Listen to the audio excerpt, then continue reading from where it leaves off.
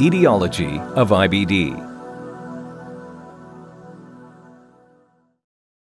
Inflammatory bowel diseases, or IBD, are a group of idiopathic chronic inflammatory disorders that affect an estimated 3 million patients in the United States.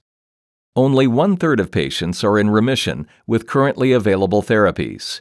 Of those patients in remission, a large percentage lose response over time. Therefore, there is a therapeutic need for the development of novel agents that target a multiplicity of molecular pathways involved in the pathophysiology of IBD to deliver a higher standard of care to patients with these diseases. IBD activates the immune cells of the gut mucosa of IBD patients, resulting in an overactive immune response to commensal flora.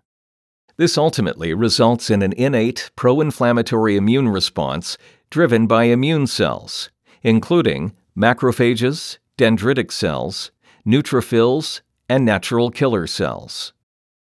A subsequent adaptive immune response is mediated by antigen presenting T cells. T cells, mainly T helper 17 cells, have been identified as key effectors in the immune pathogenesis of IBD. This results in the recruitment and production of various inflammatory mediators, including cytokines. Dysfunction of both innate and adaptive immune response pathways contributes to the inflammatory response, and cytokines are central to the mediation of the cell to cell interactions at the heart of these responses. A continuing immune response to commensal microbes results in the cytokine mediated chronic cycle of inflammation characteristic of IBD, and challenges mucosal homeostasis.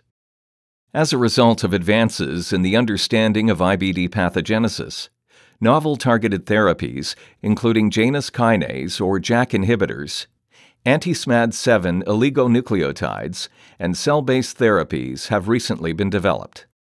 This rapidly growing armamentarium of targeted therapeutics has shown significant benefit in clinical outcomes in patients with IBD, and details about their mechanisms of action will be discussed in the following animations.